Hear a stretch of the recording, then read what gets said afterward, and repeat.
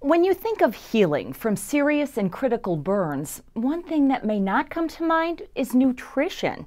But did you know that this aspect of treatment is vital to getting your body restored?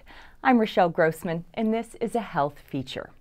According to research from the National Center for Biotechnology Information, more than 1 million burn injuries happen in the United States annually, and metabolic changes are possible following severe burns. According to this research, quote, severely burned catabolic patients can lose up to 25% of total body mass after acute severe burn injury. A 10% loss of total body mass leads to immune dysfunction, while a 20% loss leads to decreased wound healing.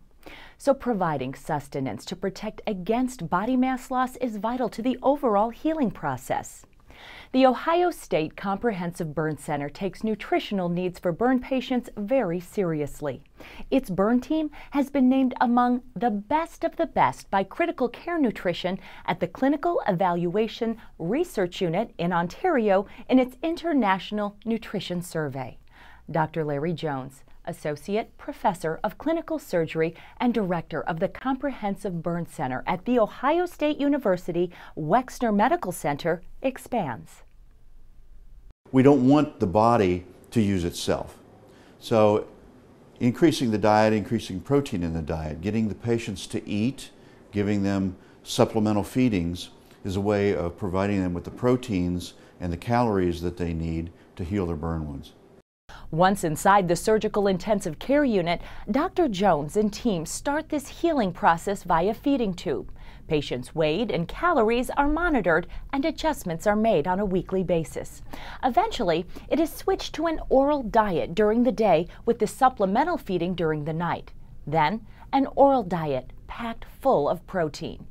Director of Nutrition Support Services and Medical Director of Ohio State's Level 1 Trauma Center, Dr. David Evans, has more on the specific calorie needs of severe burn patients. We find that they need about 140% of their regular caloric intake, so closer to say 3,000 calories when they normally would be taking 2,000 calories. Also, they need two to three or even four times as much protein as they would in an uninjured state. Patient Troy Patchen, who is receiving this nutritional care after receiving second and third degree burns, explains how much he's being fed each day. My doctors told me that the feeding tube and stuff like that gives me probably the same equivalence to eating like 15 to 20 Big Macs a day in the protein and everything. He notes it has helped, as when he first arrived, his appetite was nothing compared to what it once was. According to a university press release, this feeding solution is full of protein, vitamin D, omega 3 fatty acids, among other nutrients. So, what happens when a patient is discharged or their wound appears to be healed? When does the body no longer need this additional protein? Dr. Larry Jones has more.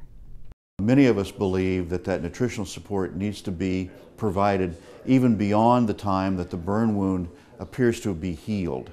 So it may last for, for months following the burn wound's healing.